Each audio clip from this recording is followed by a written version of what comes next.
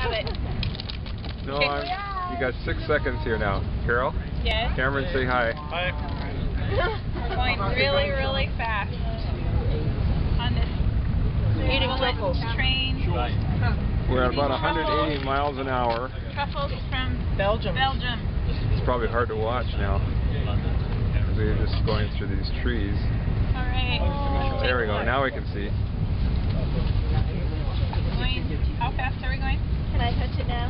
Ooh, this is cool. Are you pushing down the side? I think that's it. You think that's it? Yeah, I think Going up a little bit. it was just balancing. Wow.